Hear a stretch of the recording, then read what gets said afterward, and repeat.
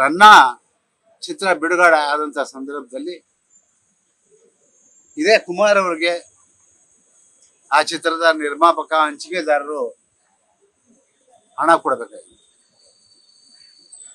ಆ ಸಂದರ್ಭದಲ್ಲಿ ಕುಮಾರ್ ಅವರು ಸುದೀಪ್ ಅವ್ರ ಹತ್ರ ಹೋಗಿ ನಿಮ್ಮ ನಿರ್ಮಾಪಕರು ಹಣ ಕೊಡಬೇಕು ಅಂತ ಹೇಳಿದಾಗ ನಾನು ಅವತ್ತು ಚಲನಚಿತ್ರ ವಾಣಿಜ್ಯ ಮಂಡಳಿಯ ಅಧ್ಯಕ್ಷನಾಗಿದ್ದೆ. ನಾನು ಇಬ್ಬರನ್ನು ಕರೆಸಿ ಗೋಕುಲ್ ರಾಜ್. ಮತ್ತೆ ಚಿತ್ರದ ನಿರ್ಮಾಪಕ ಚಂದ್ರಶೇಖರ್ ರನ್ನ. ಇವರೆಲ್ಲರನ್ನು ಕರೆಸಿ ಸುಮಾರು ನನ್ನ ಜೊತೆಗೆ ಆಗಿನ ನಿರ್ಮಾಪಕರ ಸಂಘದ ಅಧ್ಯಕ್ಷರಾದಂಥ ಮುನಿರತ್ನಮ್ ಅವರು ಕೂಡ ಇದ್ರು. ಸುದೀಪ್ ಅವರು ನಮಗೆ ದೂರವಾಣಿ ಮುಖಾಂತರ ಹಿಂಗಾಗಿದೆ ಅಂತ ಹೇಳಿದಾಗ ಖಂಡಿತ ಅದನ್ನ ಕೂತು ಮಾತನಾಡೋಣ ಅಂತ ಹೇಳಿ ಅವರೇ ಸ್ವತಃ ಸುದೀಪ್ ಅವರೇ ವಾಣಿಜ್ಯ ಮಂಡಳಿಗೆ ಸುಮಾರು ಎರಡು ದಿನಗಳ ಕಾಲ ಬಂದರು ಅವರು ಬಂದಿದ್ದಕ್ಕೆ ಅವರ ಒಂದು ಮನವಿಯನ್ನ ಚಲನಚಿತ್ರ ವಾಣಿಜ್ಯ ಮಂಡಳಿ ಪುರಸ್ಕರಿಸಿ ಅವತ್ತು ಇಲ್ಲೇ ಇದ್ದಾರೆ. ಕುಮಾರ್ ಅವರು ಬಹಳ ದೂರ ಹೋಗಿಲ್ಲ. ಕುಮಾರ್ ಅವರು ಹಿಂದೆನೆ ಇದ್ದಾರೆ. ಸುಮಾರು ಎರಡು ಕೋಟಿ ಮೂವತ್ತೈದು ಲಕ್ಷ ರೂಪಾಯಿ ಹಣನ ಬೆಳಿಗ್ಗೆ ತರಿಸಿ ವಾಣಿಜ್ಯ ಮಂಡಳಿಯಲ್ಲಿ ಕೊಟ್ಟಿದ್ದಕ್ಕೆ ಸಾಕ್ಷಿ ನಾನಿದ್ದೀನಿ.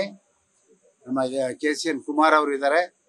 ವಿಶೇಷವಾಗಿ ಅವತ್ತಿನ ಕಾರ್ಯದರ್ಶಿ ಎನ್ ಎಂ ಸುರೇಶ್ ಅವರು ಎಲ್ಲ ನಿರ್ಮಾಪಕರಿಗೂ ಈ ವಿಷಯ ಗೊತ್ತಿರೋ ವಿಷಯ. ಎಲ್ಲರೂ ಇದ್ರು. ವೆಂಕಟೇಶ್ವರ್ ಎಲ್ಲರೂ ಇದ್ರು.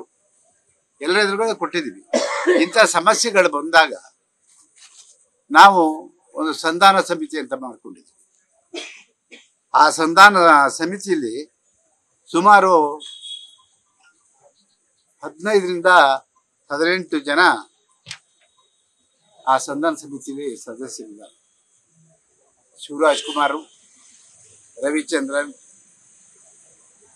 Rockline Venkatesh, Doddanna, Muniratna, Bhargava, Srinivasa Murthy S T Anand, S A Chinnegowda, K V Chandrashekar, Umesh Banakar, Vijay Kirandur, Jo Simon K Manju, B L Naganna, B K Gangadhar, Ramesh Yadav, Srikanth, K V Nagesh Kumar.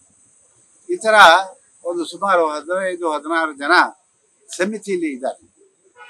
ಹಿಂದೆ ಕೂಡ ಇದೇ ರೀತಿ ಸಂಧಾನ ಸಮಿತಿ ಇತ್ತು.